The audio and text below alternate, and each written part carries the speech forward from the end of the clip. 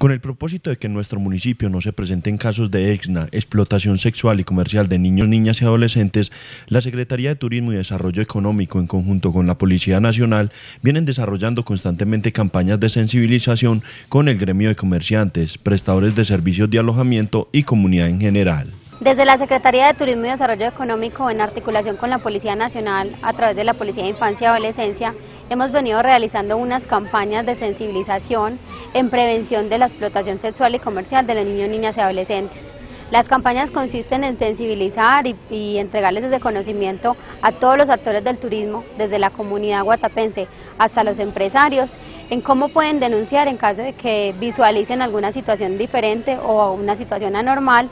con delitos que se cometen con niños, niñas y adolescentes. El llamado a la comunidad es a estar siempre muy atentos y vigilantes ante cualquier sospecha de vulneración de derechos de nuestros niños, niñas y adolescentes e informar inmediatamente a la autoridad competente. Constantemente estamos haciendo todas estas campañas de prevención con el fin de que nuestro municipio mitigue los impactos negativos que genera el turismo. Es una responsabilidad de todos y por eso invitamos a todos los prestadores de servicio turístico, comunidad guatapense y turistas a que estemos alerta en el cuidado de nuestros niños, niñas y adolescentes. Los niños no son solamente responsabilidad de sus padres, los niños son responsabilidad de todos. Invitamos a las personas que de pronto detecten alguna situación anormal a comunicarse a la línea 144 a nivel nacional o la línea 123.